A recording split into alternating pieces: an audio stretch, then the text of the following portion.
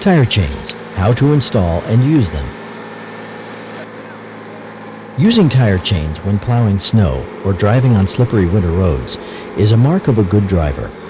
Chains provide additional safety as well as a significant increase in vehicle mobility.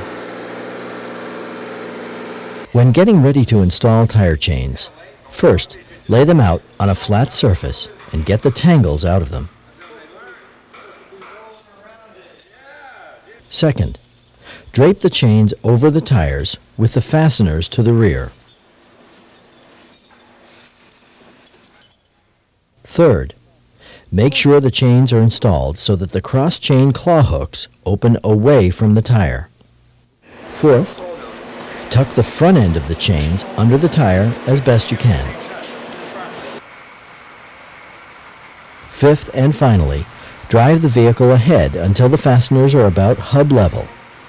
Stop the vehicle, shut down the engine, and set the brakes. Fasten the inside of the chain first, then fasten the outside. On dual wheel chains, fasten the center, the inside, and then the outside of the chain. Put the chains on as tight as you can by hand. Do not use tools. Also, never let the air out and then reinflate the tires after you put the chains on. They will be too tight.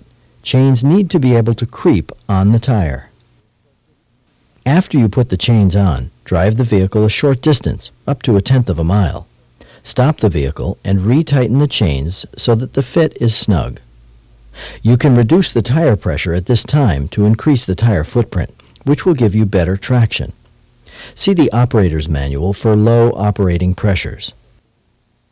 Chain positions on the vehicles are important. On the Humvee, use chains on all four wheels for best traction and safer operations. If your vehicle has a non-drive axle, put chains on the driving axle. If you have only single wheel chains but dual wheel axles, put the chains on the outside tires. If you have a tandem drive vehicle and you only have chains for one axle, put them on the front or intermediate rear tandem axle. Ideally, on all-wheel drive trucks, put chains on all the wheels. Trailers don't generally need chains. However, if there are steep hills or slippery conditions, or both, chains are recommended. If the trailer has tandem axles, install the chains on the rear axle.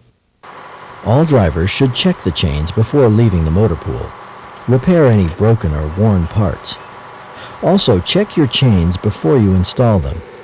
You can save time and won't have to remove them for repairs. When driving with tire chains installed, the maximum safe speed is 15 miles per hour. When plowing snow, the maximum safe speed is 10 miles per hour. At the end of the winter or after heavy use, clean the chains with a wire brush to remove dirt and rust. Soak them in a cleaning solvent to loosen stubborn gunk. After cleaning, dunk them in used crankcase oil and drip dry. Store chains in burlap or canvas bags, like the one they came in, and put them in a dry place. When roads become slick with ice or snow, Tire chains are the only way to go, so use them